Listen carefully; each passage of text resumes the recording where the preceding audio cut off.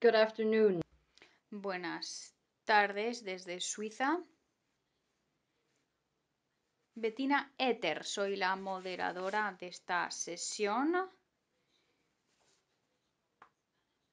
Soy gestora en cuestiones migratorias, migratorias mundiales en la Agencia Suiza de Desarrollo y Cooperación del Ministerio de Asuntos Exteriores de Suiza. Espero que puedan oírme bien, ya que eh, participo de modo virtual. Buenas tardes, buenas noches, según donde se encuentren. Y pido disculpas por esta sesión tan tardía que entiendo se debe a las dificultades eh, técnicas en las sesiones anteriores. Sin más, les anuncio para comenzar que desafortunadamente hemos perdido a uno de los ponentes debido a este retraso. El ministro de Etiopía ha tenido que cancelar porque tenía compromisos previos y por tanto vamos a contar únicamente con cinco, cuatro ponentes, perdón y de este modo tendremos más tiempo para preguntas. Aunque me informan de que tenemos que concluir el primer día antes de las 6 de Ginebra.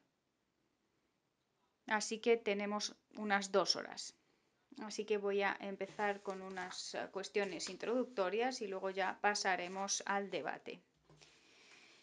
Excelencias, distinguidos delegados, señoras y señores, es un placer darles la bienvenida a este panel sobre mejorar la agencia de migrantes y la contribución a la consecución de los objetivos de desarrollo sostenible.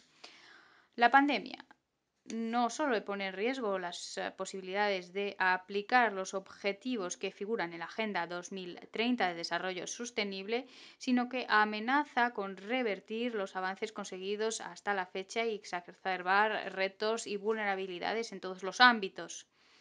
Hemos trabajado para identificar medidas y responder ante la pandemia. Para ello es importante que los gobiernos y la comunidad internacional en su conjunto aprovechen esta crisis como oportunidad para reforzar su compromiso para con los ODS y usarlos como medio de crear sociedades más resilientes, así asegurar que pueden responder mejor ante crisis futuras. Durante la recuperación de la pandemia, las contribuciones de los migrantes van a ser esenciales para conseguir los ODS.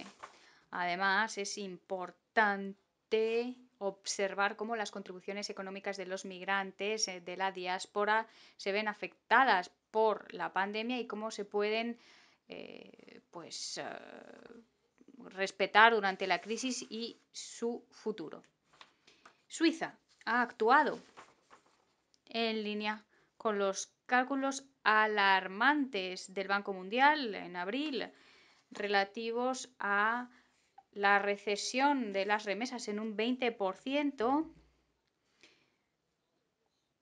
110.000 millones de eh, dólares en total, conjuntamente con el Reino Unido y con los socios multilaterales, incluida la OIM, así como el sector privado y la sociedad civil.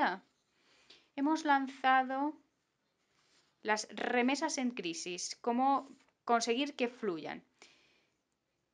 El objetivo aquí era concienciar sobre el efecto posible devastador de las disminuciones en las remesas, no solo en los migrantes y en sus familias que dependen de dichos flujos monetarios para poder cubrir sus necesidades básicas, la alimentación, el alojamiento, la educación, y la asistencia médica durante la pandemia, sino que también amenaza no solo a los hogares, sino que plantea riesgos para la estabilidad económica de muchos países de ingresos medios y bajos, donde estos flujos constituyen un gran porcentaje de la financiación de estas economías.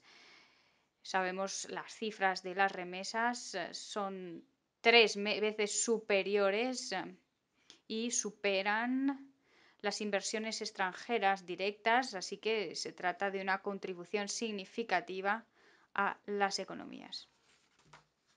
Así pues, una disminución de las remesas puede amenazar los avances en materia de ODS y amenaza también una recaída de estas personas en la pobreza. El llamado a la acción, mm, por tanto, se centra en distintos actores del sistema, pues responsables de política, reguladores, socios del sector privado, proveedores de remesas, para adoptar medidas que permitan mitigar los efectos de la crisis en las remesas y asegurarse de que los migrantes pueden mantener el acceso a estos servicios de remesas y que sigan fluyendo las mismas.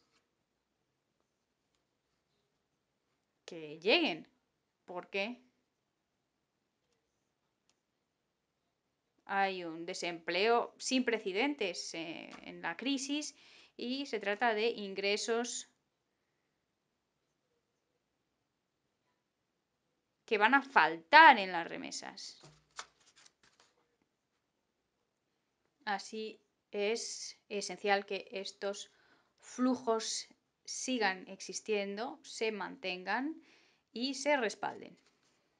Es importante, pues, por ejemplo, asegurar que los eh, servicios de remesas se declaren servicios esenciales y también tener soluciones digitales sin duda, hay una necesidad también concienciación, información entre los migrantes para usar estas plataformas o también de manera temporal para reducir los costes de transacción.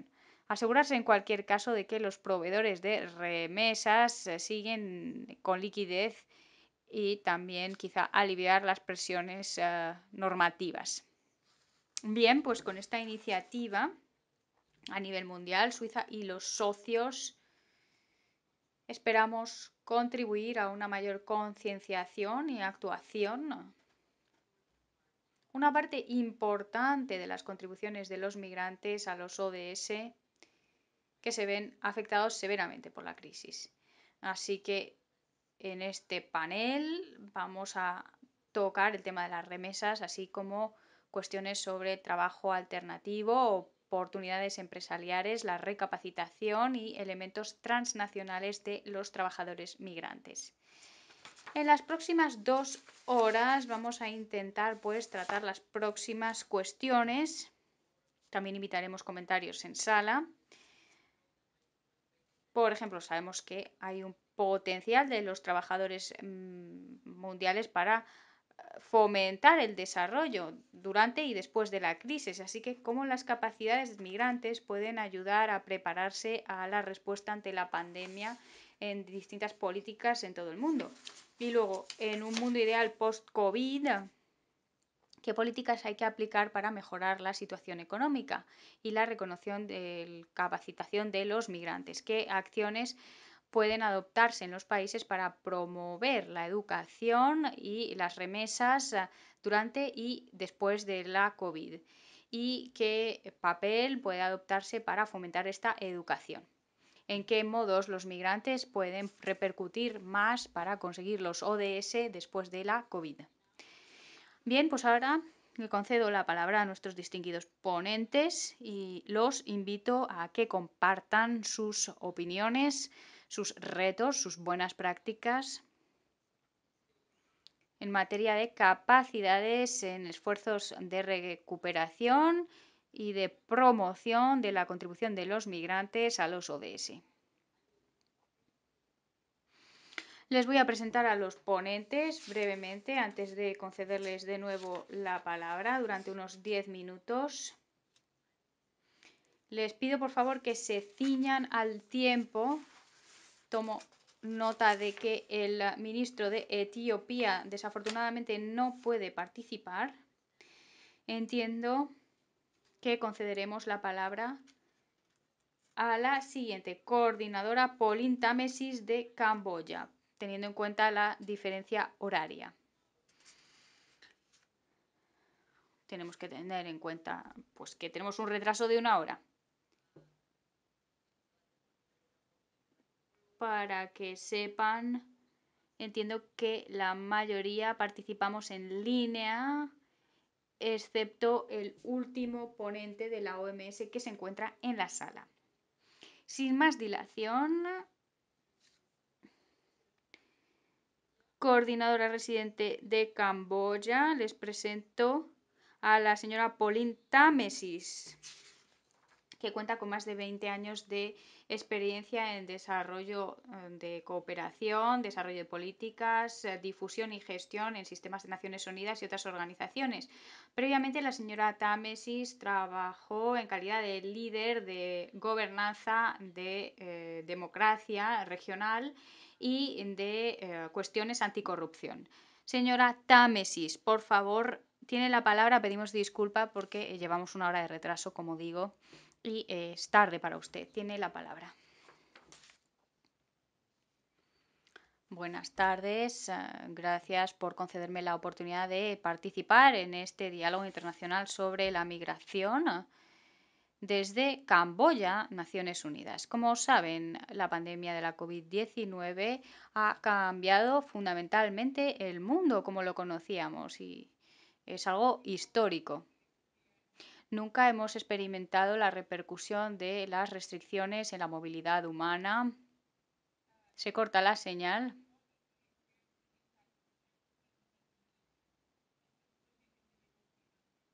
y de las libertades individuales eh, por el bien común. Ningún otro grupo se ha visto más afectado que el grupo de los trabajadores migrantes. En este sentido, tengo tres mensajes que compartir con ustedes en materia de flujos migratorios para conseguir los ODS. 1.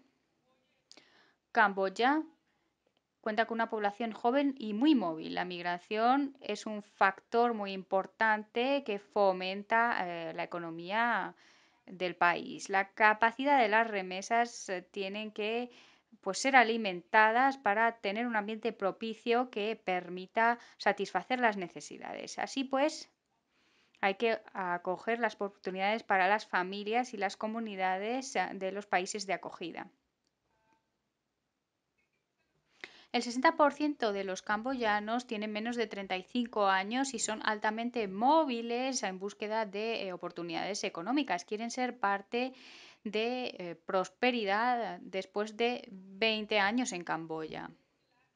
En los últimos 20 años, eh, la migración ha sido uno de los factores principales que ha transformado la sociedad de Camboya. De media, los migrantes mm, envían de 200 a 250 dólares al mes que es una suma esencial para ayudar a las familias para poder eh, sobrevivir. Desde un punto de vista macroeconómico, las remesas son una fuente principal de los ingresos en Camboya y han creído de 445 millones en 2010 a 700 y pico en 2019. Estas cifras nos muestran las eh, significativas contribuciones de los migrantes en nuestra economía. Las remesas pueden fomentar el desarrollo en nuestro país.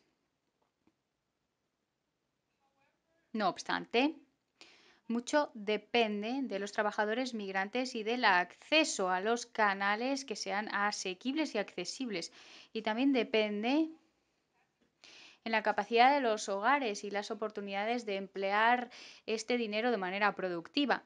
Más importante, esto tiene que ser canalizado gracias a un ambiente macroeconómico procito, eh, gracias a medidas que permitan optimizar las inversiones.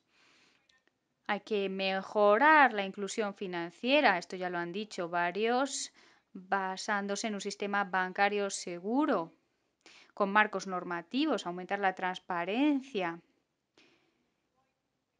y desplegar las tecnologías digitales en nuestros sistemas. Dos, la percepción pública tiene que reconocerse y tener voz los migrantes forman parte de la economía y de la sociedad y tienen eh, pleno derecho en las mismas. Cuando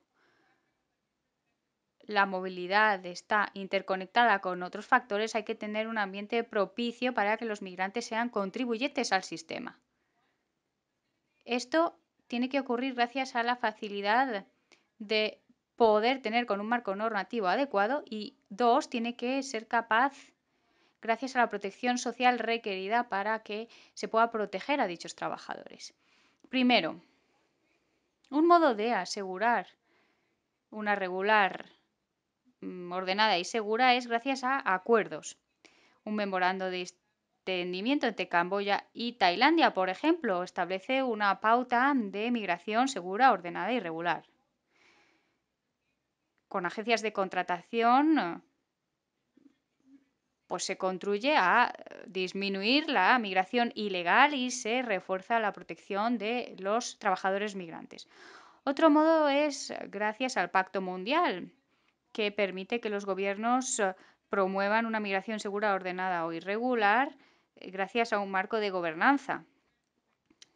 Todo ello hace que las políticas de migración nacionales traten todas las lagunas y retos eh, y las satisfagan con éxito. Tercero, la pandemia nos ha muestrado que hay que tener acceso a los programas de atención sanitaria y social. Hay que respaldar al gobierno para asegurar que los trabajadores migrantes, se corta la señal, puedan beneficiarse del sistema de protección social en el país en que se encuentren. Trabajamos con el gobierno de Camboya para aumentar la protección de los migrantes y de la población eh, trabajadora con distintos tipos de medidas ajustadas y específicas.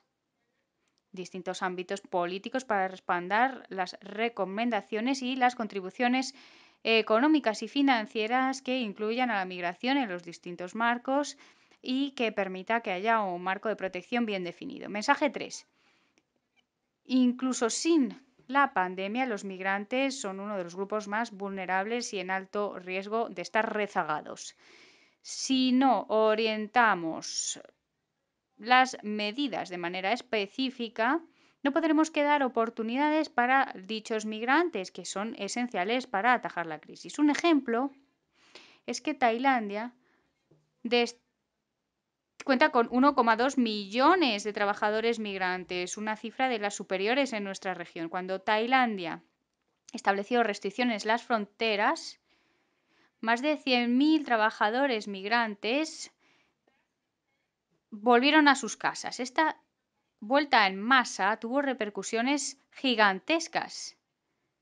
Y esto implica que estas familias volvieron a la pobreza, sin contar con el apoyo de estos medios de vida, los migrantes que vuelven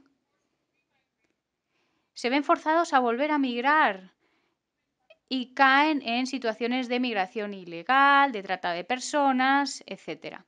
En este caso, hay pues que actuar centrándose en la protección sanitaria, en los medios de vida y el empleo de estas personas. A nivel político, hay que asegurarse de que se tienen en cuenta a los migrantes en la respuesta política ante las estrategias socioeconómicas de recuperación. A nivel programático hay que asegurarse de que hay un mecanismo que permita una ayuda de emergencia. Otros esfuerzos incluyen la recapacitación, la mejora de capacidades, el acceso a la formación, el, respeto, el respaldo perdón, a las pymes donde hay migrantes. Para concluir, recalco que la prioridad y la acción tiene que centrarse en la colaboración interinstitucional para conseguir los ODS. Hay que formalizar, pues, esta ayuda e incluir a la migración en los distintos planes públicos. Tercero, proteger de manera social a los migrantes. Y cuarto, recalcar lo que dijo usted, moderadora, al principio, el llamado a la acción en materia de remesas en crisis para que sigan fluyendo. Con estas medidas adoptamos los pasos necesarios para poder aprovechar esta crisis. Muchas gracias. Muchas gracias, señora Támesis de Camboya, por sus declaraciones altamente relevantes y por haber explicado cuál es la relevancia de las remesas para la recuperación de el país. También la percepción pública, cómo se incluye a los migrantes en las fases de recuperación, la protección social, la protección sanitaria y tratar las vulnerabilidades a la vuelta de los migrantes y crear oportunidades económicas de reintegración y de inclusión en las medidas como las transferencias monetarias. Muchas gracias por sus eh, comentarios tan útiles sobre las distintas medidas durante y después de la pandemia. Y sin más, me gustaría pasarle la palabra a nuestro segundo ponente, Excelencia, Viorica Dumbravenu espero haberlo pronunciado bien, ministra de Salud, Trabajo y Protección Social de la República de Moldova. Muchas gracias por haber cedido su puesto a la señora Tamesis teniendo en cuenta las diferencias horarias. Muy brevemente, la presento. Su Excelencia ha trabajado en distintas oficinas del Gobierno de Moldova durante los últimos ocho años en calidad de asesora del presidente de la República de Moldova en el ámbito del desarrollo social, en calidad de secretaria de Estado de Asistencia Social, ministra de Salud, eh, perdón, Ministerio de Salud, Trabajo y eh, Protección Social y viceministro de este departamento. También ha trabajado en calidad de jefe de protección familiar, derechos del niño del Ministerio de Trabajo y Asuntos Sociales de Moldova. Tiene usted la palabra para pronunciar su declaración.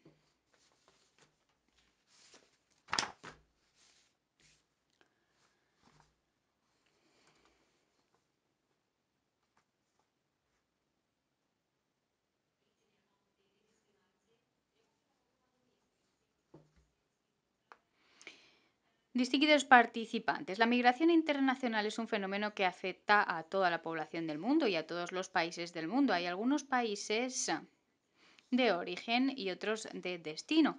La República de Moldova no es una excepción y como país en desarrollo nos ha afectado el fenómeno de la migración. En este contexto acogemos el IEDM como plataforma útil de políticas de migración.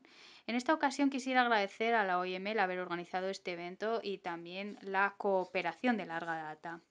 La pandemia COVID-19 ha afectado todo el mundo con efectos negativos no solo en la salud de la población, sino también en el bienestar social. Y por ello, la migración y la protección de los migrantes son un tema extremadamente relevante en la agenda de los países de todo el mundo, teniendo en cuenta que la migración ha aumentado durante la pandemia con el brote de la pandemia, los migrantes son muy vulnerables y afrontan problemas como pérdida de trabajo, falta de recursos, pérdida de alojamientos y dificultades en la movilidad. En la República de Moldova tenemos aproximadamente 800.000 trabajadores migrantes. Residen en más de 45 países de todo el mundo. En cuanto a los migrantes que se han ido en busca del empleo, contamos con unos 325.000. Los países de destino son la Federación Rusa, Italia, Israel, Grecia, etc. Por consiguiente, a partir del perfil de migración existente, la República de Moldova ha adoptado medidas necesarias para incorporar un enfoque integrado respecto a la gestión de la migración de los migrantes, trabajadores migrantes.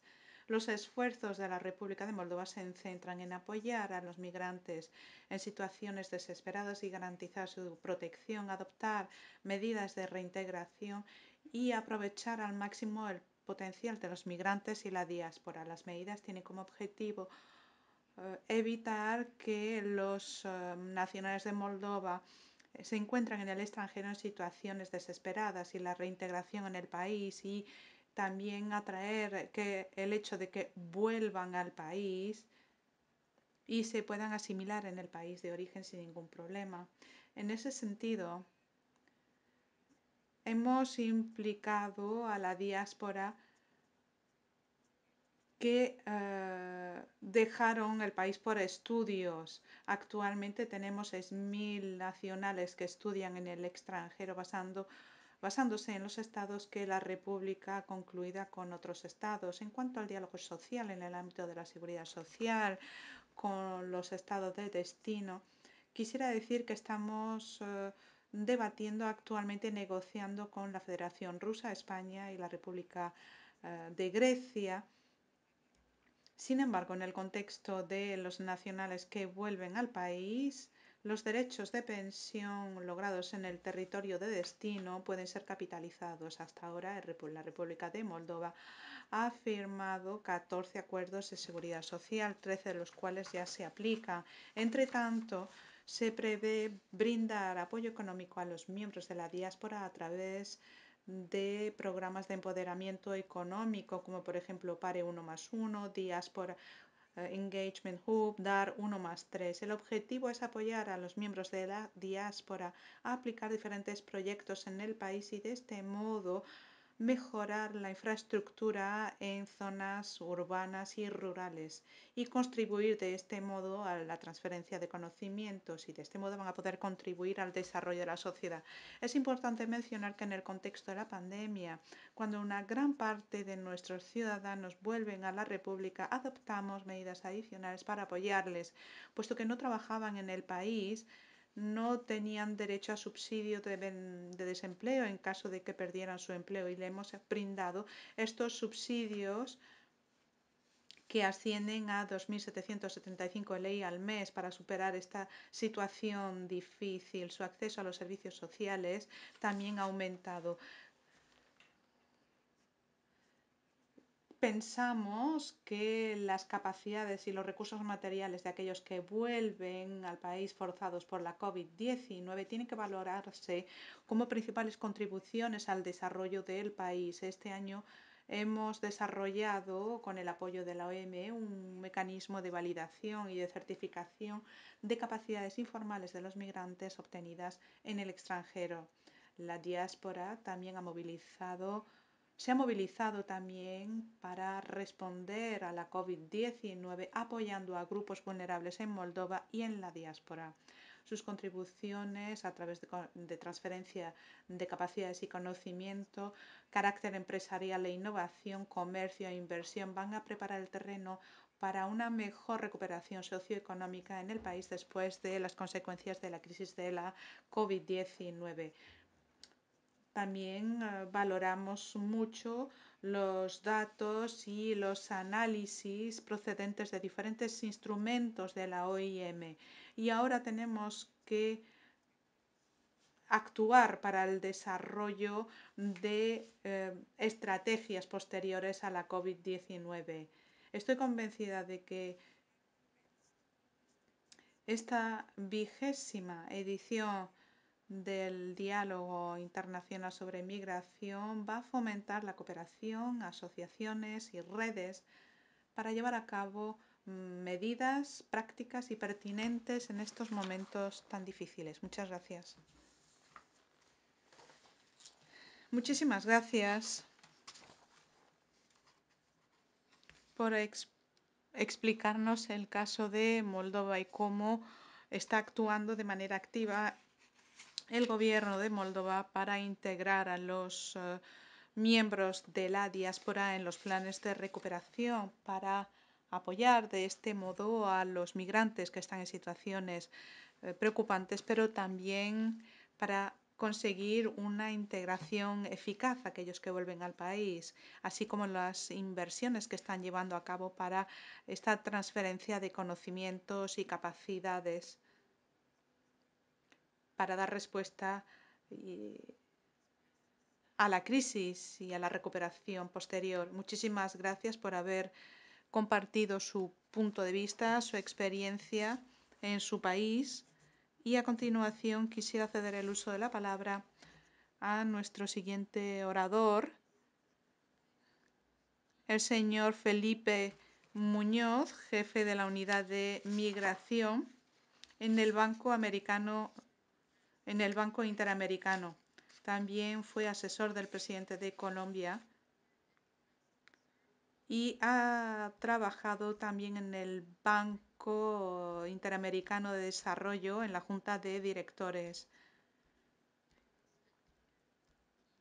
Estamos deseando escuchar su perspectiva sobre este tema. Tiene usted el uso de la palabra, señor Muñoz. Por favor, proceda. Señor Eter, muchísimas gracias. Quiero iniciar esta presentación dándole las gracias a OIM, en especial al señor Antonio Vitorino, el director general, y a todo el equipo de OIM en toda la región de América Latina y el Caribe eh, por el apoyo que dan con este proceso migratorio. Mi participación como jefe de la unidad de migración del Banco Interamericano de Desarrollo es una demostración del renovado compromiso que tenemos entre las dos instituciones bajo un memorando de entendimiento recientemente firmado. Para quienes no están familiarizados, el BID o Banco Interamericano de Desarrollo es la principal fuente de financiamiento y préstamos eh, de la región en América Latina. Y rápidamente para pasar al tema que nos ocupa, el, el, el, tema migratorio es un tema que también afecta a la región de América Latina, se ha enfocado más en otras regiones del mundo, pero en los últimos años hemos visto un crecimiento masivo e intempestivo de migraciones migraciones intrarregionales, eh, solamente para mencionar que con las últimas cifras que actualizó Naciones Unidas ya completamos 5.4 millones de venezolanos que han tenido que salir de su país, de los cuales más del 80% se están ubicando en la región, además de flujos migratorios en Centroamérica, en las islas de Caribe y temas en toda la región.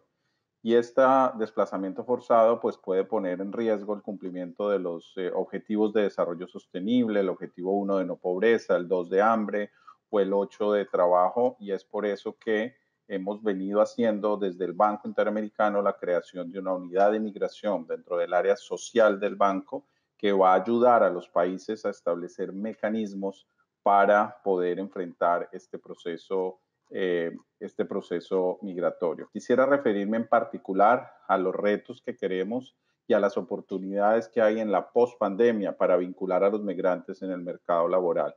Como todos ustedes saben, más del 50% del empleo en América Latina y el Caribe es de carácter informal y este porcentaje es casi que el 70% de todos los migrantes intrarregionales que están en la región están en esos mercados informales. Como ustedes también saben, el COVID-19 ha afectado muy en particular estos sectores, los sectores de servicios, los sectores de turismo, los sectores de atención, que es donde más estaban ubicados los migrantes y por lo tanto la tasa de desempleo dentro de los migrantes está afectada aún más que para la población local, como lo ha venido haciendo el seguimiento del observatorio laboral que tiene el Banco Interamericano de Desarrollo. Y es por ello que requerimos trabajar con los países para mejorar seis de los procesos de integración de los migrantes, con permisos de trabajo y procesos de identificación, con apoyar a las agencias de empleo para hacer un mejor match entre oferta y la demanda, para trabajar con los empresarios y que entiendan las posibilidades que tienen los migrantes en los procesos y para ayudar a validar los diplomas y certificados. Hemos copiado ejemplos de muchos sitios del mundo para traerla a la región, como aquí también en la región se están haciendo bien en todo ello, y poder reducir mediante esta agenda de trabajo con los gobiernos de los países las barreras que existen para su integración. Pero ¿por qué es importante integrarlos? Porque en su mayoría, en el 80% de los países, los migrantes intrarregionales son población, algunos con mayor nivel de educación, como en la migración venezolana, y otros en una edad productiva y más jóvenes y en muchos casos la fuerza laboral no es una fuerza que entre en competencia con el mercado local, por lo cual hay que expandir la migración y la documentación y aprovechar los procesos con los países que puede tener el banco para innovar en la certificación de competencias y acreditación y fortalecer los sistemas que ayude a mejorar la información dentro de los sistemas de empleo en la, en la región. ¿Cómo trabaja el banco en esto? Trabaja con una unidad de migración, como les comenté, dentro del área social, proveyendo recursos no reembolsables a los países que incluyan a los migrantes en su respuesta. Diez de ellos hoy pueden acceder a estos fondos, pero también con conocimiento, con producción de papers, con diálogos regionales y sobre todo compartiendo con entidades como la OIM y otros del Sistema de Naciones Unidas, del sector privado y la sociedad civil, las mejores prácticas para traer. Para finalizar, queremos agradecer además a muchos de los donantes, en particular, señora Ether, ya que está usted ahí a Suiza y a muchos de los otros, la Unión Europea, Estados Unidos, España, que han colaborado con algunos recursos dentro del banco para apalancar lo que el banco pone y de esta manera generar un mejor efecto de sinergia, de apoyo a los gobiernos y a las comunidades en este proceso. El Banco Interamericano como fuente de financiamiento ha puesto la migración en el centro de su agenda como un tema transversal de desarrollo para no solo hacer políticas a los migrantes, sino incluir a los migrantes en todas las políticas públicas de desarrollo y de esta manera no perder lo que se había ganado con la obtención de los objetivos de desarrollo sostenible. Muchas gracias, señora Ete.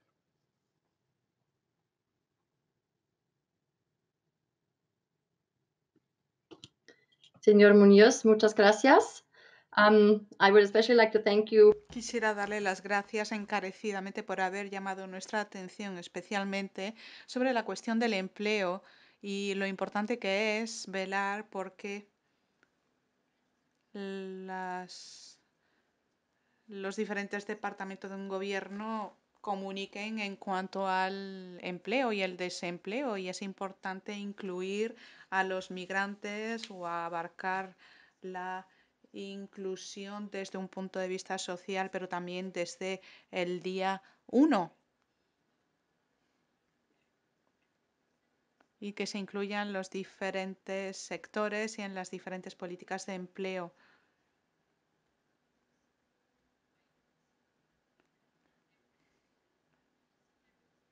Incluyendo las respuestas dedicadas específicamente a los migrantes.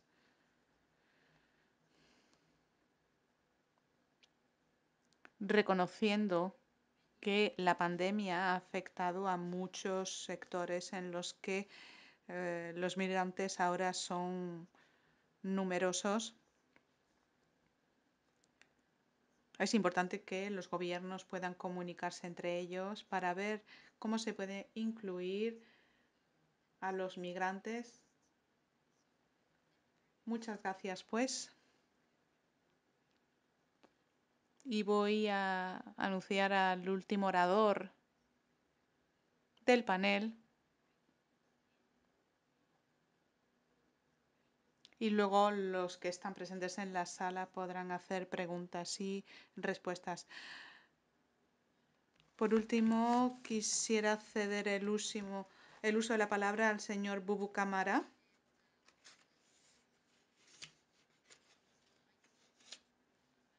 Es director del Pilar de Apoyo COVID-19 en la OMS. Es un especialista en enfermedades infecciosas y forma parte de los cinco doctores de la diáspora de Mauritania que han sido movilizados a través de la OIM y el Fondo Fiduciario de Emergencia de la Unión Europea para África para luchar contra la COVID-19 en Mauritania. También eh, trabaja en el servicio de neumología del Centro Hospitalario Universitario de Grenoble y su investigación en enfermedades infecciosas, respiratorias y en pulmonología es importante para sus pacientes. Estamos deseando aprender mucho de su experiencia específica en esta crisis y cómo su trabajo se puede relacionar con la comprensión de la situación de los migrantes, puesto que usted forma parte de aquellos que apoyan a la respuesta y al apoyo frente a esta pandemia. Muy buenas tardes. Voy a expresarme en francés, va a ser mucho más simple para mí. Primero quisiera dar las gracias a la OIM y a todos los organizadores que me han permitido estar aquí hoy para dar fe de mi experiencia como miembro de la diáspora que vuelve a su país para ayudar a luchar contra la COVID que ha azotado al mundo entero, incluyendo a mi país. Primero, lo que yo voy a decirles va a ser diferente de los oradores precedentes, porque yo soy médico en el terreno, hace 20 años que he ejercido en Francia, hasta hace poco estaba en Grenoble. Desde el mes de junio, pues, decidí, decidí volver a Mauritania, así como otros cinco miembros de la diáspora. Y este retorno ha sido facilitado por un programa de la Unión Europea y la OIM que se llama Vuelta Temporal de la Diáspora. Precisamente para volver a la cuestión de la diáspora, lo que hay que recordar es que Siempre hay un flujo continuo entre los miembros de la diáspora y los países de origen. Y ese flujo puede ser de diferentes tipos. Nosotros, nuestra particularidad es que hemos vivido la primera crisis de la COVID en Grenoble y conocemos uh, el alcance de la pandemia que ha sido sin precedentes en lo que se refiere al coronavirus, nos preguntamos qué va a ocurrir. Los recursos sanitarios uh, no son inagotables, no son suficientes incluso. Incluso y lo peor es en países donde no tienen un sistema de salud estructurado. Lo primero era establecer un contacto con los países de origen. Es lo que hemos hecho a través de los grupos de WhatsApp, o también hemos hecho diferentes reuniones con el ministro de la Salud a través de Zoom, o donde ya empezamos a hablar sobre la crisis, el equipo necesario y ya compartíamos los protocolos sanitarios disponibles en los países en los que residimos, eh, los países de adopción, Francia en mi caso. Esta preocupación permanente, presente, ahí presente, ha hecho que volvamos a nuestros países a través de este programa para compartir la experiencia vivida y para establecer puentes. No partíamos de cero, sino de la experiencia adquirida. Este compromiso de la diáspora ha sido espontáneo, se ha se ha facilitado gracias a la participación de la OIM y ha contribuido tanto en recursos humanos como en carácter técnico.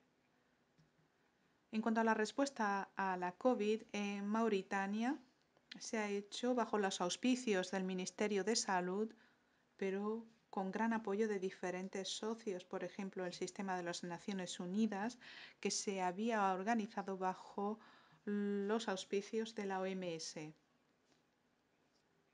La OMS estaba a cargo de eh, ciertos pilares, como por ejemplo hacerse cargo de los casos, mi responsabilidad en este sistema.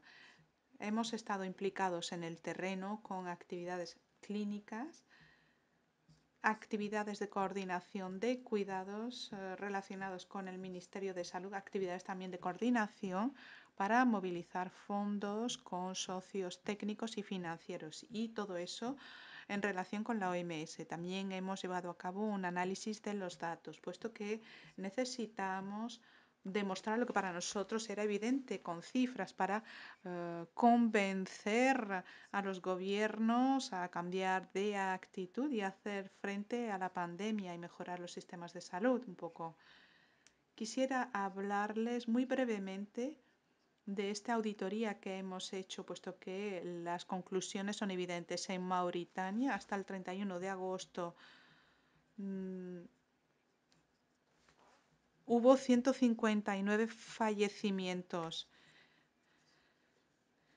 Y lo impresionante es que las personas fallecieron 24 horas después de su hospitalización. Y veíamos en el terreno una desconfianza respecto al sistema de salud.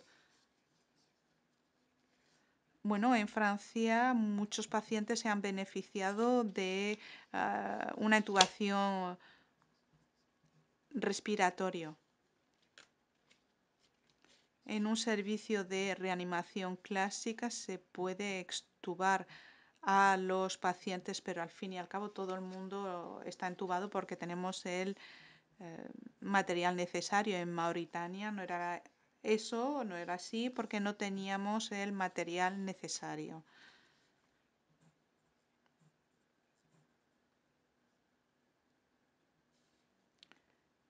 Esto es, entre otros, la, esta ha sido la implicación de la diáspora.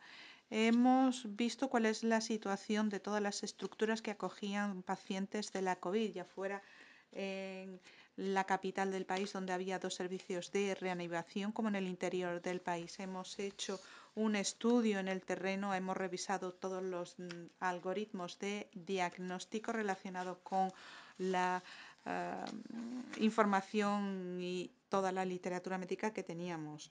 Globalmente,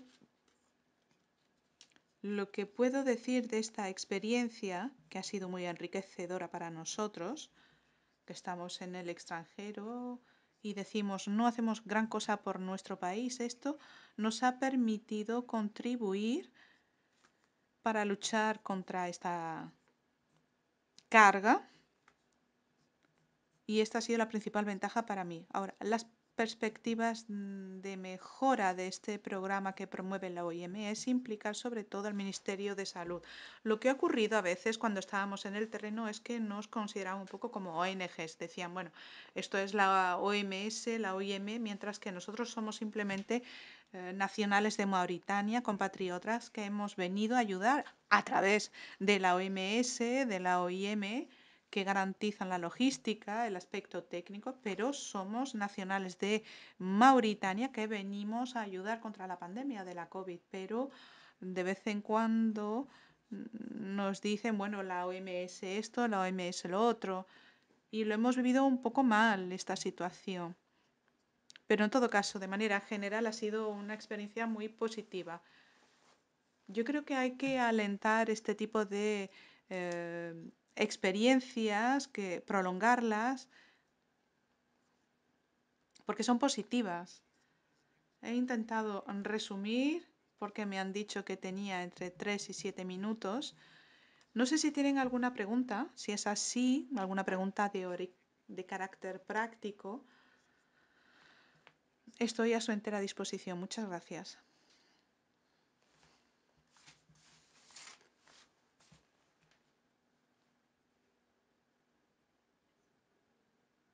Muchas gracias, señor Camara, por haber compartido su experiencia con nosotros. Impresionante.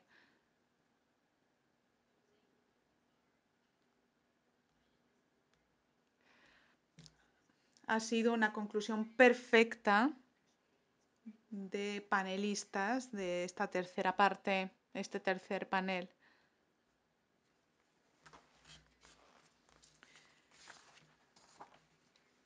Vemos eh, los efectos positivos de este programa. Ha sido impresionante.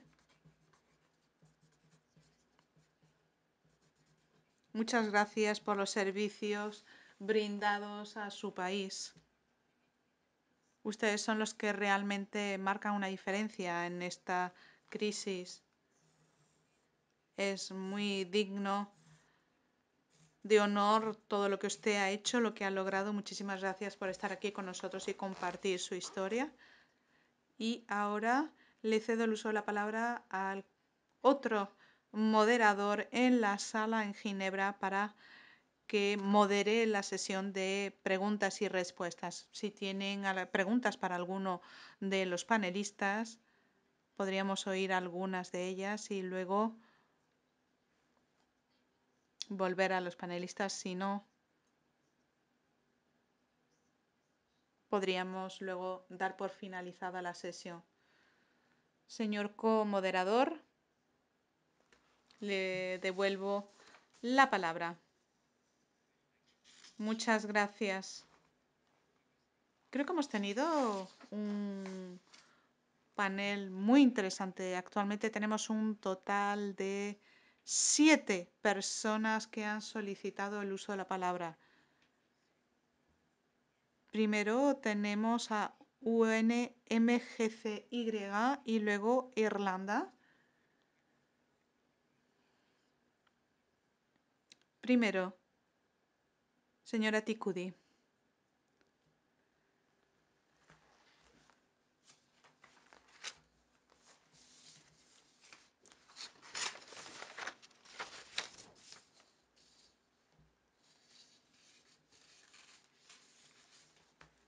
Bueno, parece que no está lista. Irlanda, por favor.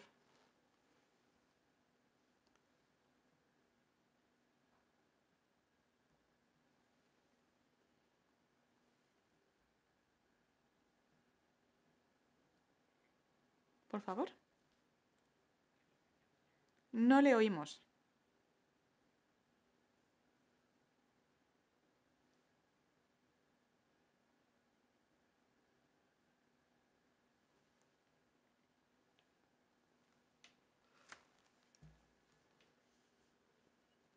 ¿Puede intentarlo de nuevo? No, lamentamos mucho decirle que no podemos oírle.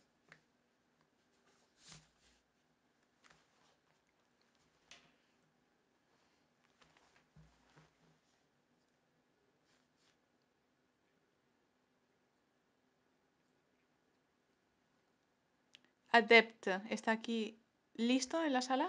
¿Puede intervenir? Parece que no. Bangladesh.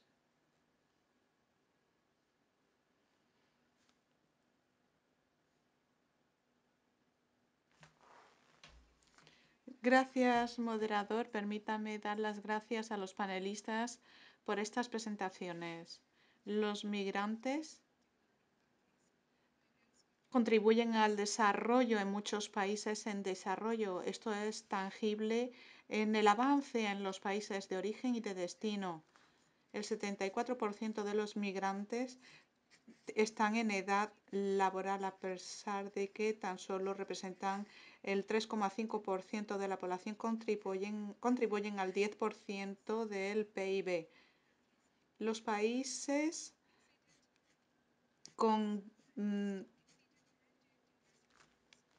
ingresos bajos o medianos han recibido muchas contribuciones en remesas y los migrantes desempeñan un papel importante para lograr estos objetivos. Sin embargo, los migrantes, independientemente de su condición, son los más vulnerables ante la pandemia. Su salud se ha visto en riesgo. Con un 20% de remesas en 2020 de disminución, la vida de las personas que viven en los países de origen de las remesas está en peligro.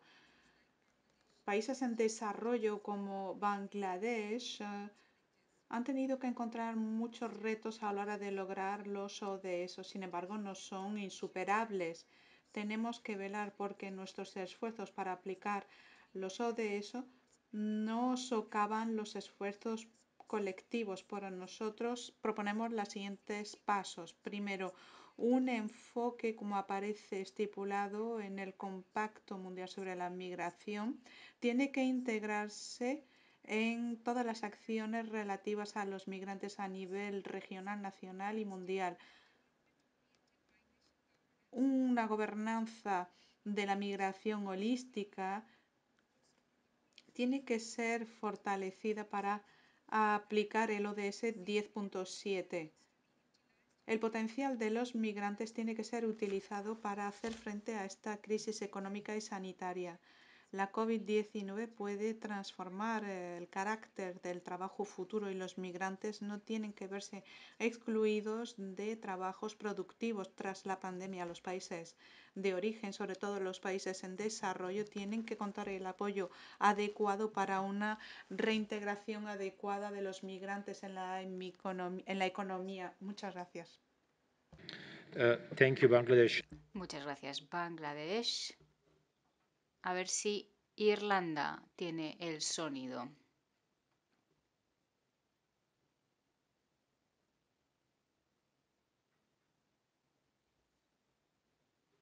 Bien, parece que seguimos teniendo problemas de conexión con Irlanda.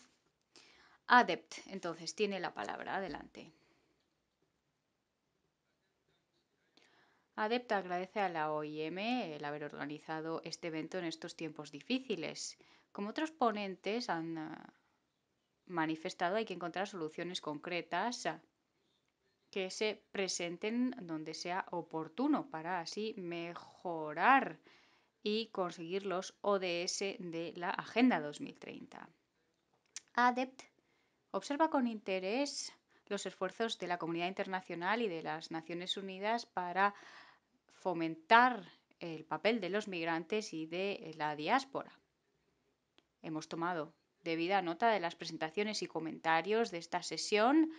Los migrantes y la diáspora no se vean únicamente como proveedores de dinero.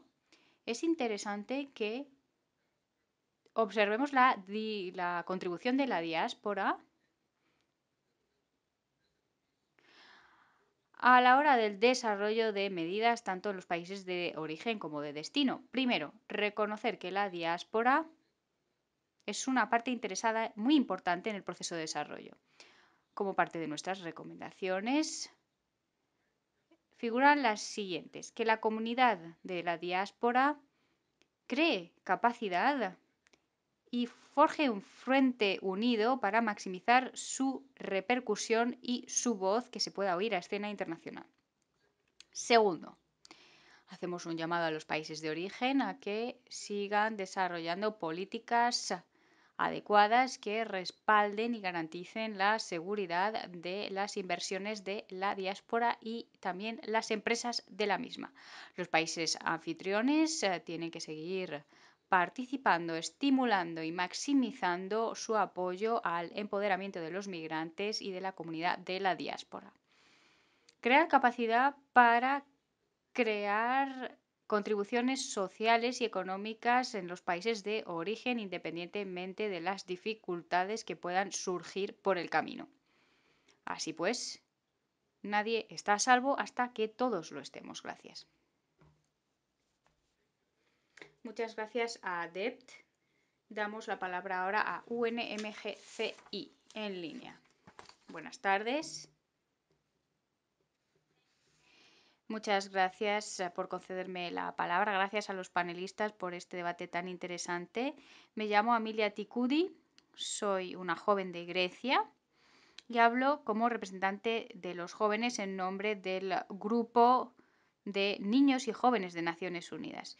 En mi capacidad profesional yo me ocupo de los procedimientos de asilo en Grecia y hoy me voy a basar en mi experiencia en políticas de jóvenes centrados en la educación no formal ya durante siete años llevo en este cargo. He trabajado en varios proyectos en Grecia como las iniciativas de la Unión Europea de, de educación, también en México, en el Caribe, Turquía, Noruega y otros. También formo parte de políticas eh, juveniles en eventos globales como la Declaración de Colombo sobre políticas juveniles o la Declaración de Bakú, en distintos foros eh, juveniles de políticas para jóvenes, eh, también como se ven afectadas las comunidades de jóvenes. Para darles una idea de qué tipo de educación no formal a la que me refiero, pues es la educación para que los migrantes se conviertan en agentes de cambio en sus comunidades. He trabajado en un proyecto financiado por la Unión Europea para promover el intercambio de buenas prácticas, por ejemplo, con medios de comunicación para crear la paz en comunidades afectadas por los conflictos, incluyendo a grupos marginalizados en la conservación de la naturaleza o en áreas de desastres. Para integrar y generar ingresos, nuestros proyectos se ven eh, pues respaldados con jóvenes que han pasado por la degradación, por ejemplo, y trabajan en eh, zonas rurales. Y esto es muy eficaz porque creamos agentes jóvenes eh, y les concedemos las herramientas para ser ágiles e innovadores en tiempos de cambios y crisis y que vayan más allá de la capacidad, la formación y la recapacitación. Elementos cuantificables del desarrollo en su conjunto. A la hora de hablar de la promoción de la capacidad de los migrantes, hay que hablar de su papel indispensable en calidad de agentes de cambio. Y para ello la educación no formal es esencial. A través de la experiencia única que crea competencias para que sean pensadores, empresarios, humanitarios y ciudadanos del mundo, proveyendo así valores de cohesión social, de resiliencia posteriores a la crisis y permitan el desarrollo con capacidades blandas que son esenciales. La educación no formal es esencial para ser una fuente para las comunidades en situaciones de crisis y debe incluirse en las políticas de migración y desarrollo como objetivo.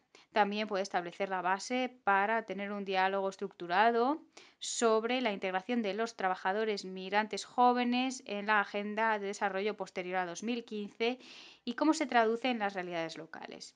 Me gustaría compartir un par de factores de éxito.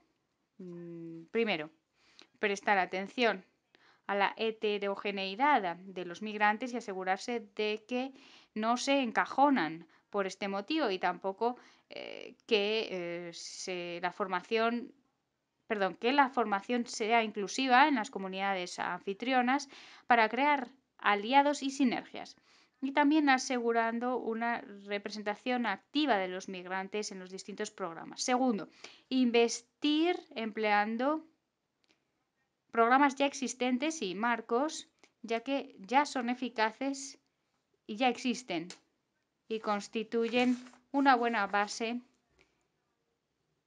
para fomentar la educación no formal entre los jóvenes y migrantes. Muchas gracias.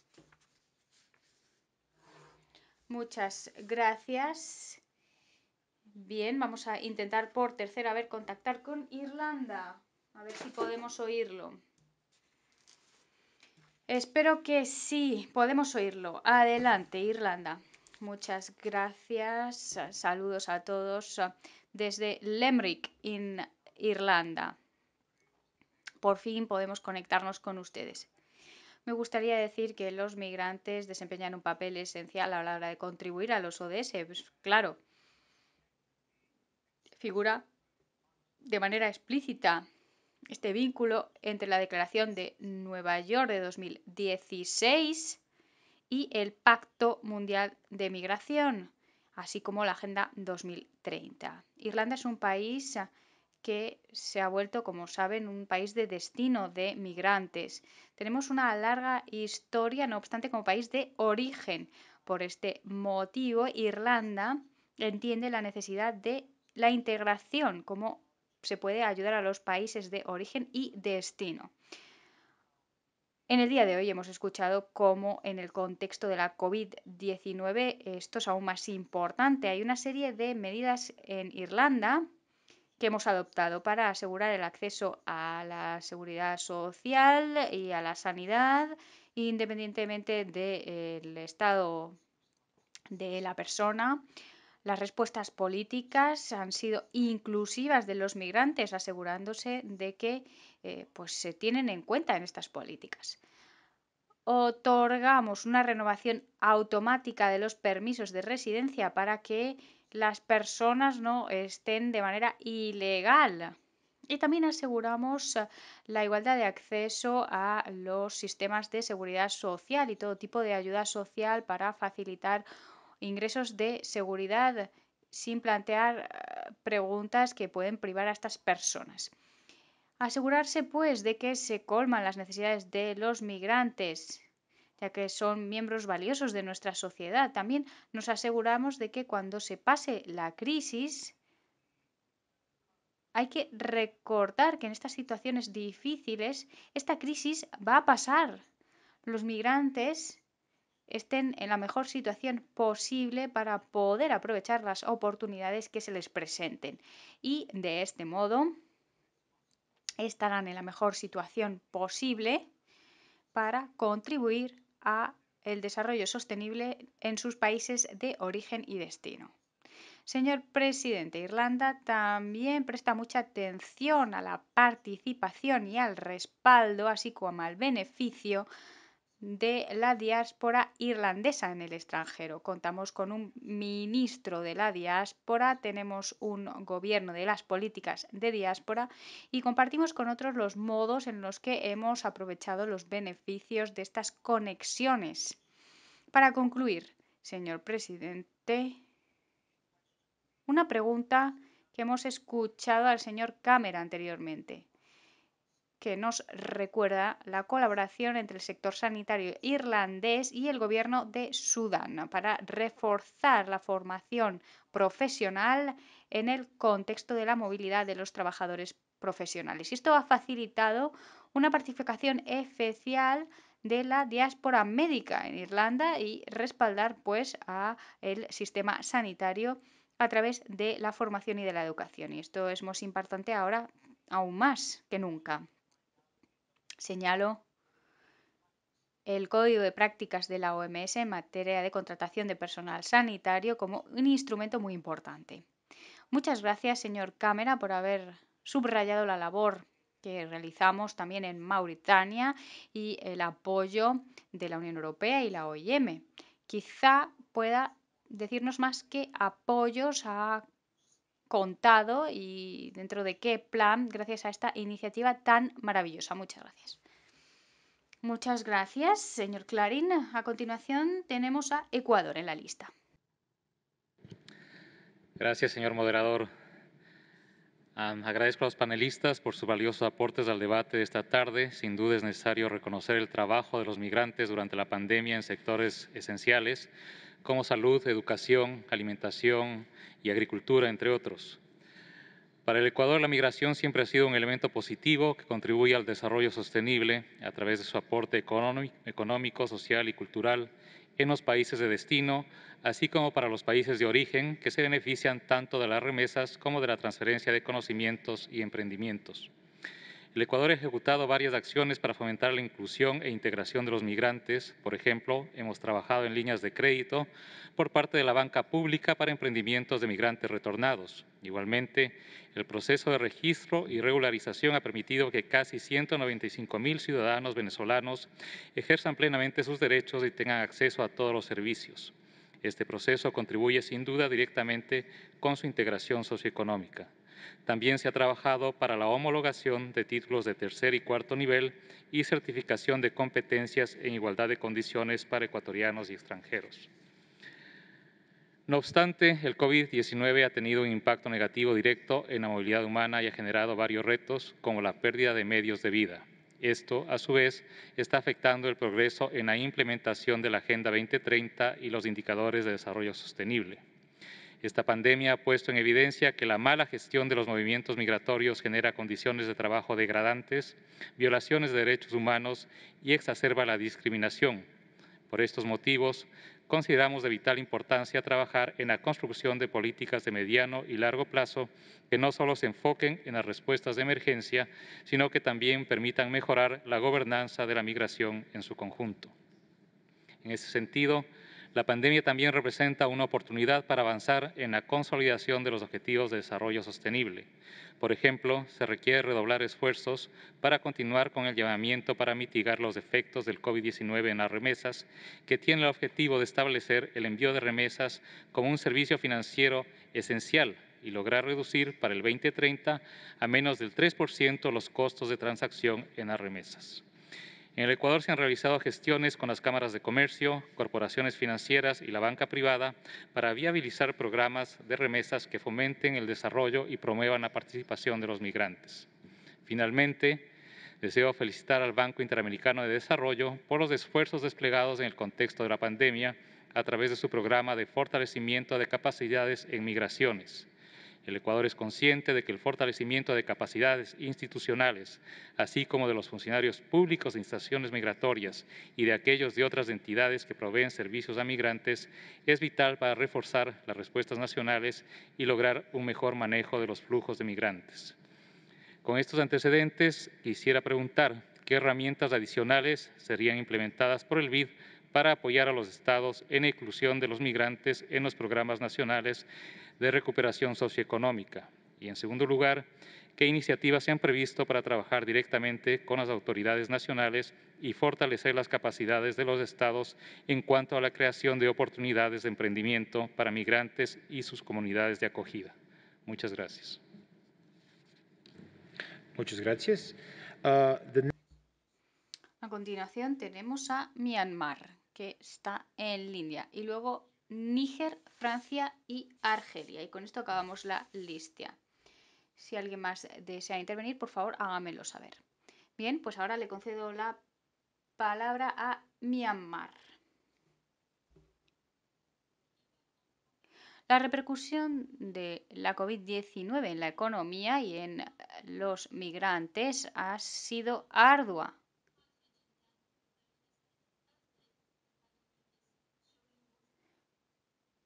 La intérprete se disculpa, el sonido es entrecortado.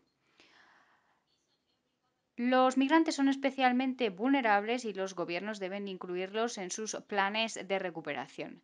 Myanmar tiene en cuenta las dificultades que afrontan los migrantes y, por tanto, intentamos ayudar a aquellos que desean retornar. Hemos evaluado eh, la repercusión y eh, intentamos que vuelvan a sus países en seguridad. El gobierno ha establecido un plan para aquellos que desean ah, volver a su país eh, por motivos relativos a la COVID-19. Myanmar también tiene distintos proyectos y también planes de eh, transferencias monetarias para los trabajadores migrantes. Hemos trabajado estrechamente con la OIM en materia de COVID-19 y agradezco a la OIM el apoyo que nos ha brindado. En cuanto al Fondo Monetario Internacional, la economía va a sufrir una gran recesión.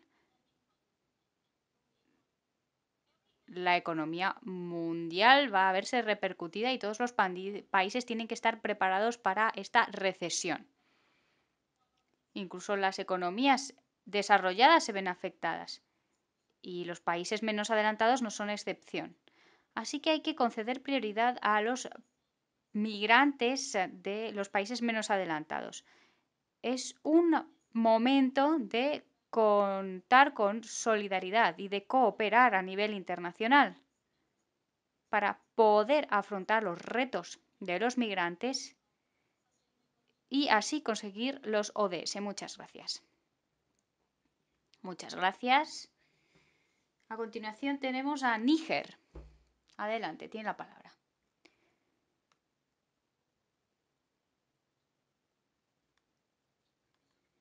Señor moderador, quisiera agradecer eh, por parte de mi delegación a la OIM que ha organizado este evento tan importante para analizar las cuestiones eh, migratorias.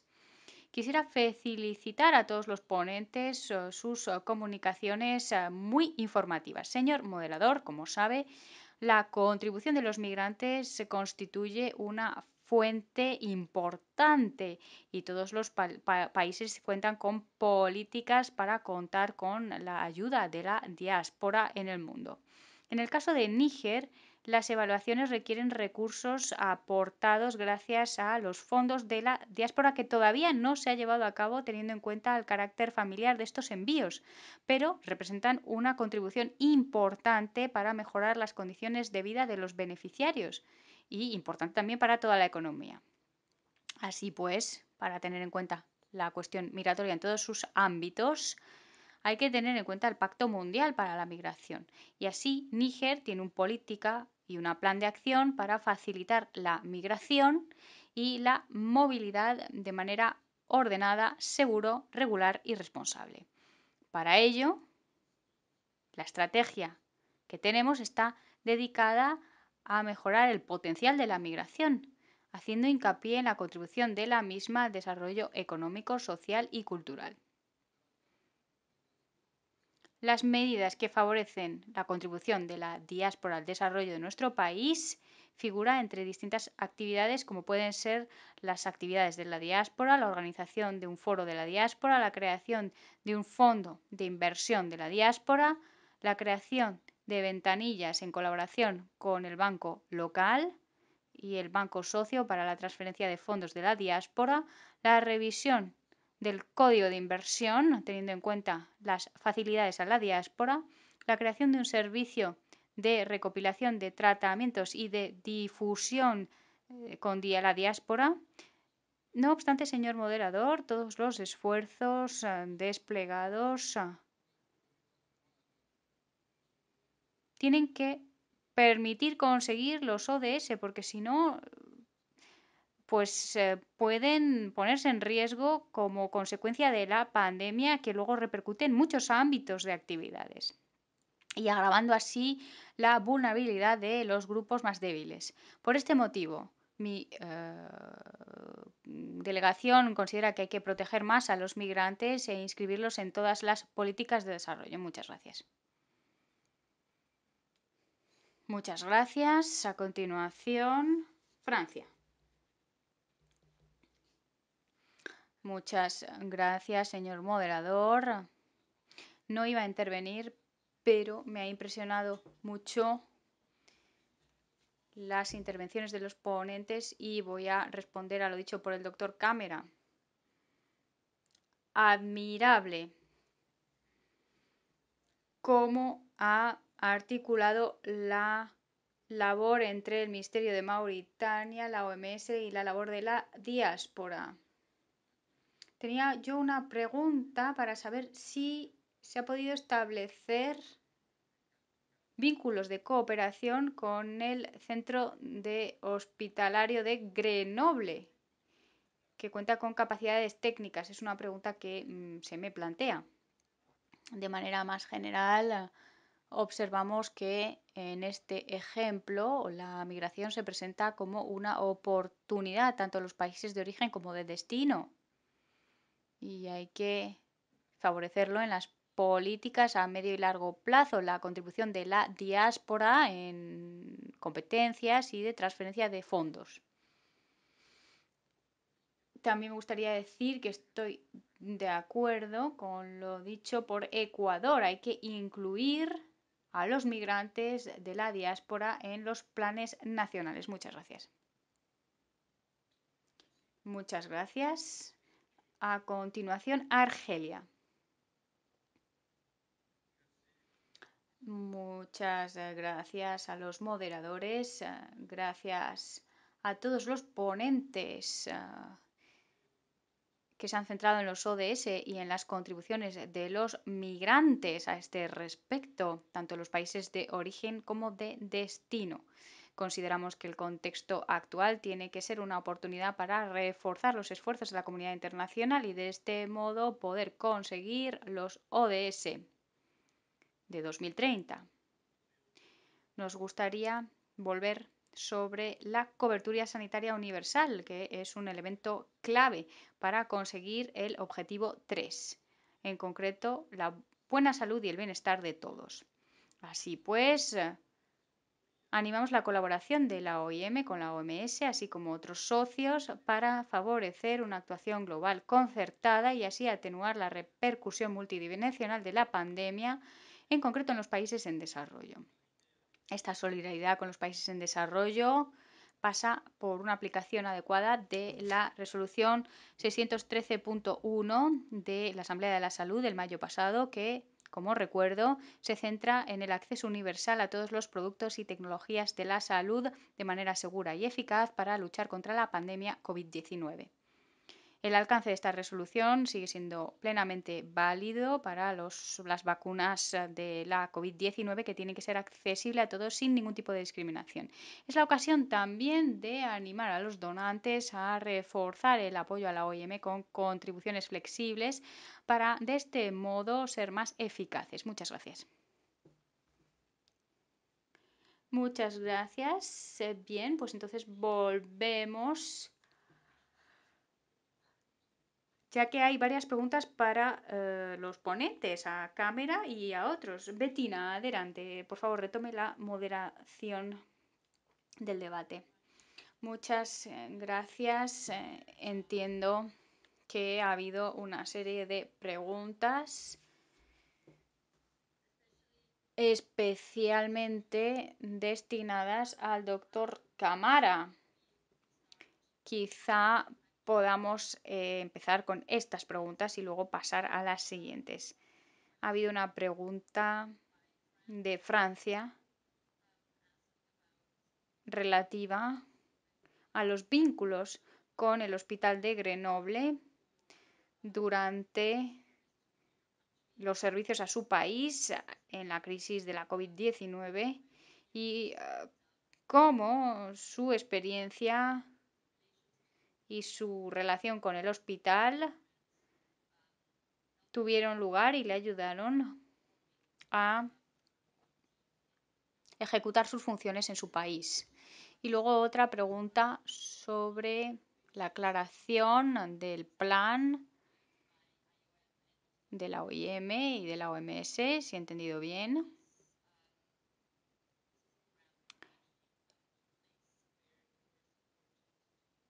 El apoyo recibido en este programa para ayudar a su país. Si puede, por favor, responder a estas preguntas, se lo agradecería mucho. Tiene usted la palabra, señor Cámara.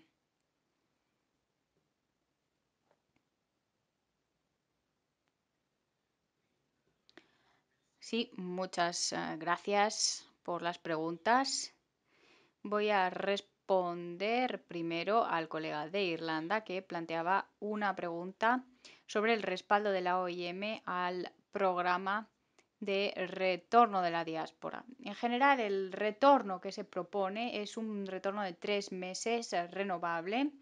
Es cierto que en el marco de Mauritania actualmente eh, solo yo he podido realizar tres meses, los otros han eh, hecho entre un mes y un mes y medio porque es muy difícil liberarse durante tres meses cuando hay distintas actividades eh, de guardia o distintas actividades de cuidado. Es muy complicado.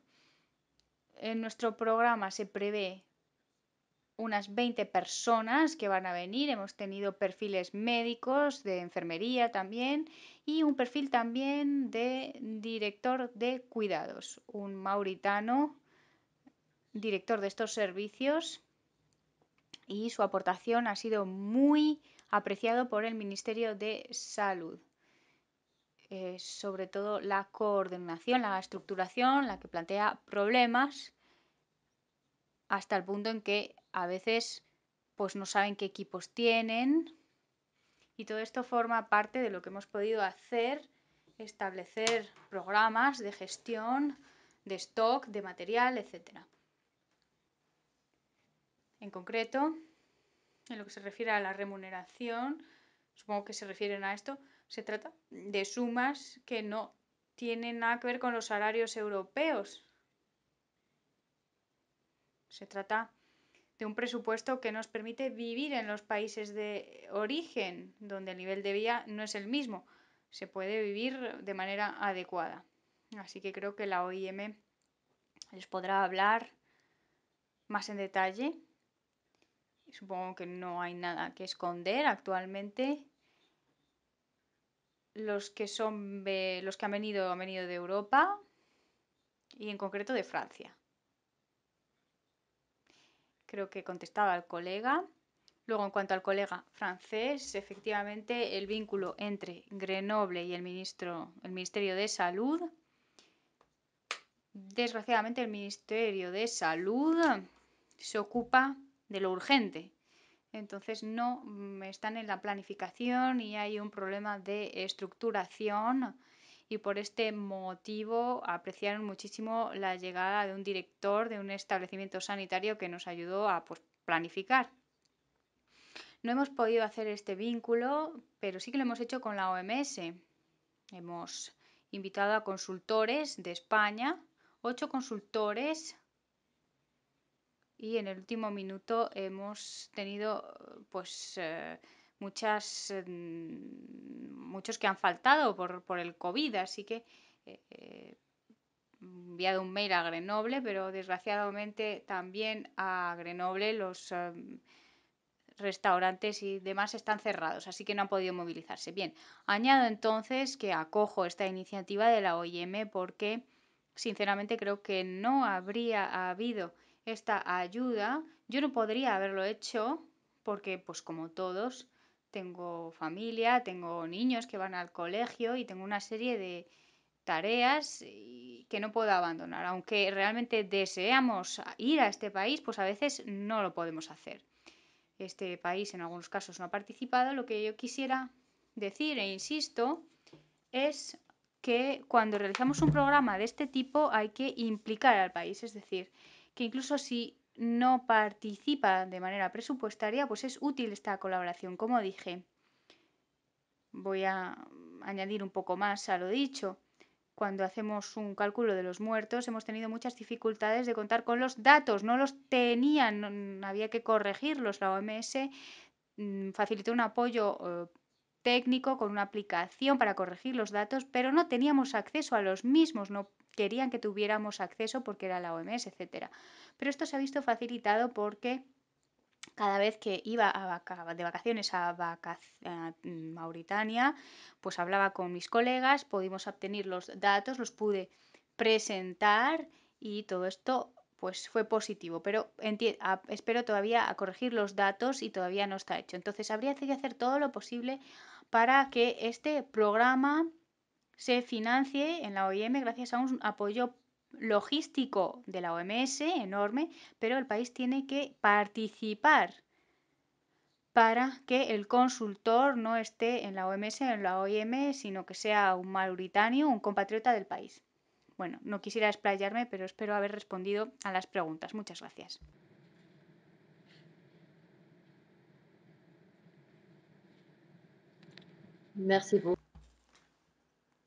Muchas gracias, señor Camaga.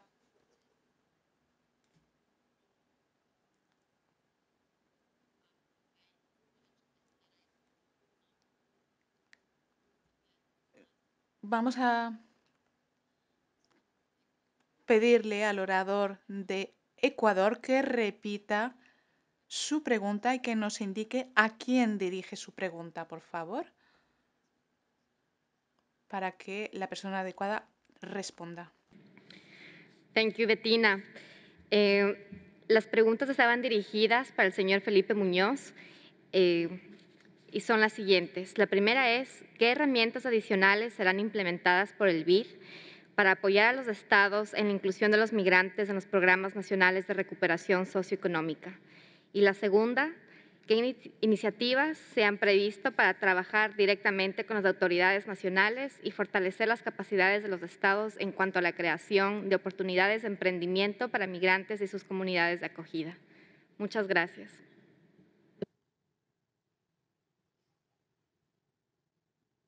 Thank you, Madam, for your Muchas gracias por esta aclaración. Señor Muñoz, por favor, tiene usted el uso de la palabra para responder. Ok, em, muchas gracias al representante de Ecuador por la pregunta. Lo primero que quiero decirle es que venimos trabajando con Ecuador eh, y con otros siete países en la región eh, para que esos países a través de préstamos que tienen con el banco, en los cuales se incluyan como beneficiarios a migrantes o a comunidades receptoras, puedan obtener de este eh, fondo que fue autorizado por los gobernadores del banco, es decir, por los países que hacen parte del banco, puedan recibir estos fondos. Con Ecuador en particular, ya venimos trabajando en un proyecto de protección social que está implementando el gobierno del Ecuador y de esa manera poder ayudar a que parte de esa red de protección social pueda incluir a los migrantes.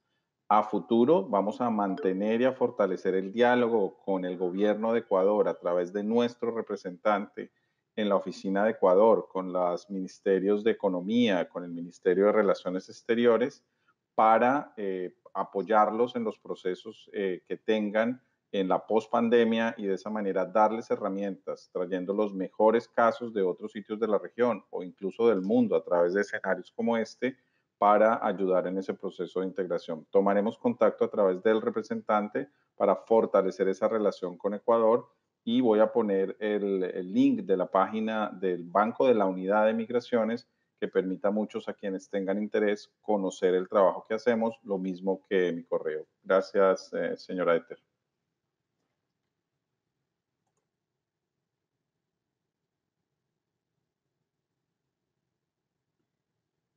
Thank you very much for the responses.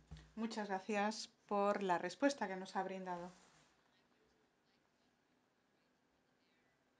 Quisiera preguntarle a mi co-moderador si alguien más ha solicitado el uso de la palabra.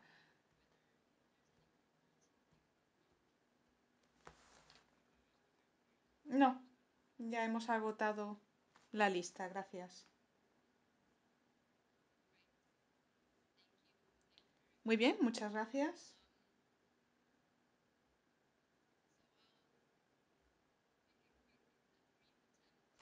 Voy a intentar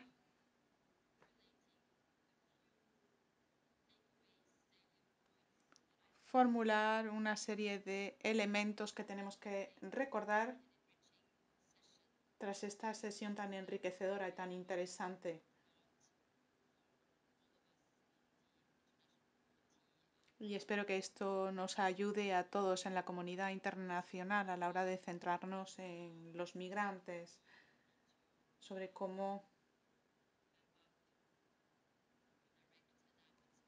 tenemos que adaptar nuestras respuestas para reconocer la contribución de los migrantes a la recuperación. De todas las intervenciones, de todos los ponentes que hemos oído, vemos que se reconoce la contribución de los migrantes a los ODS. Para nombrar una serie de ejemplos,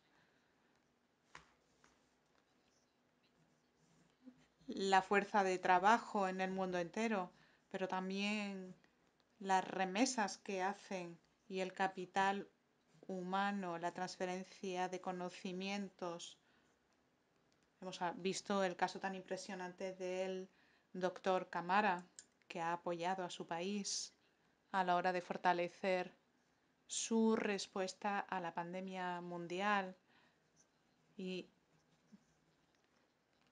implicado directamente en respuestas a nivel de los hospitales, pero también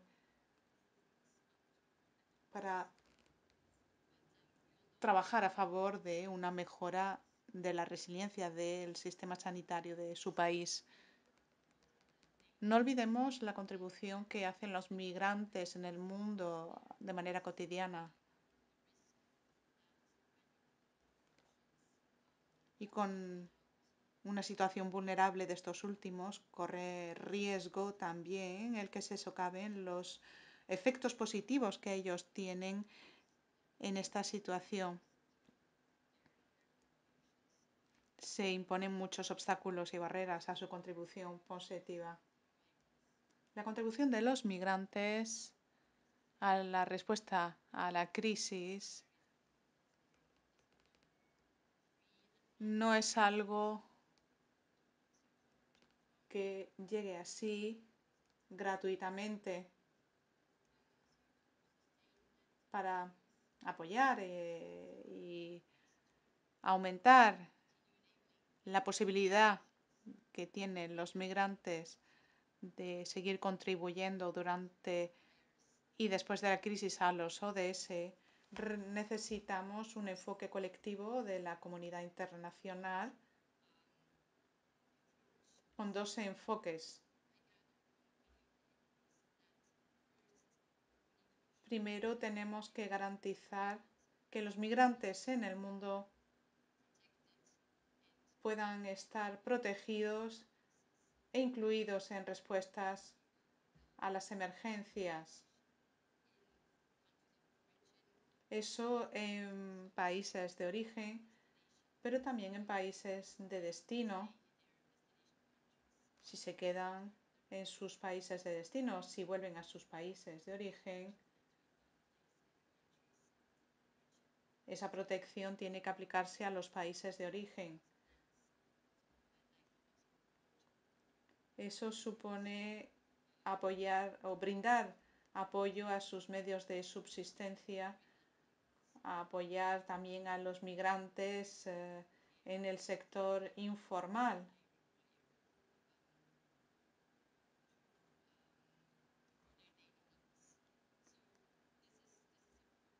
para que puedan cubrir sus necesidades cotidianas.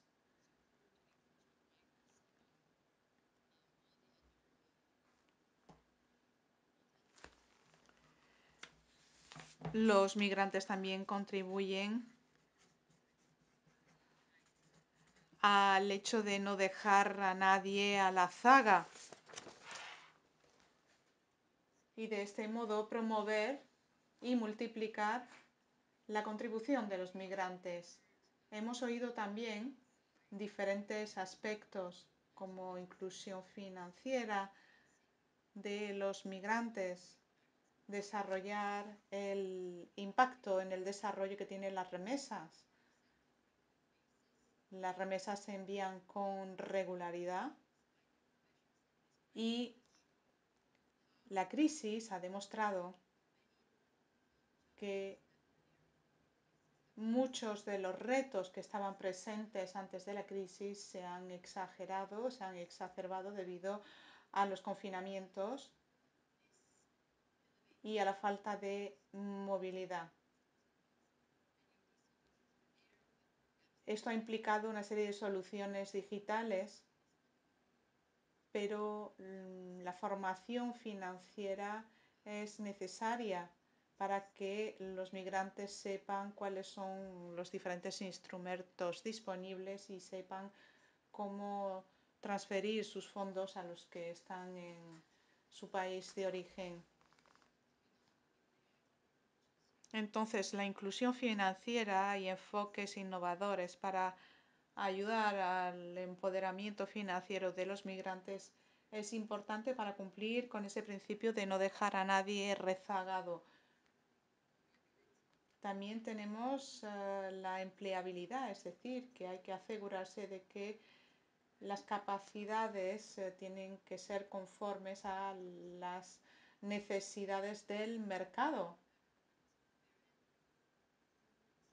para que se lleve a cabo una contratación adecuada y acuerdos bilaterales.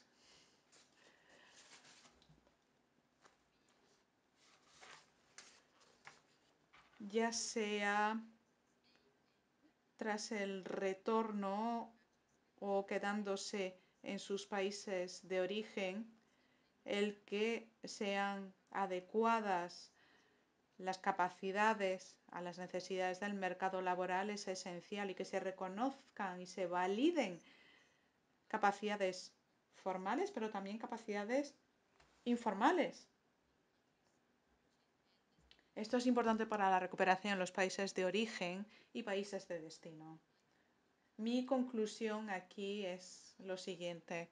Los retos o también las oportunidades que brinda la capacidad que tienen los migrantes eh, de contribuir a la recuperación y a la consecución de los ODS no es algo nuevo, pero los retos se han visto agravados por la crisis.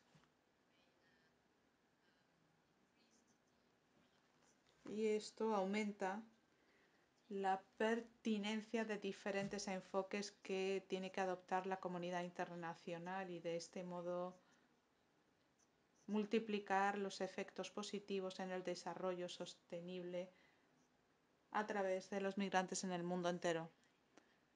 Con esto quisiera dar las gracias a todos los panelistas por sus presentaciones tan interesantes y por el debate tan interesante que hemos tenido después. Y esperamos que con estos mensajes podamos desarrollar enfoques sólidos, innovadores que puedan mejorar la capacidad que tienen de contribuir los migrantes. Con esto termino la sesión y también este primer día del Diálogo Internacional de la OIM sobre la Migración 2020 con una visión bastante interesante, con unas perspectivas muy interesantes para mañana. Les deseo una velada muy agradable. Muchas gracias por su atención. Muchas gracias. Hemos tenido tres paneles uh, muy interesantes e enriquecedores y todos los discursos estarán a su disposición.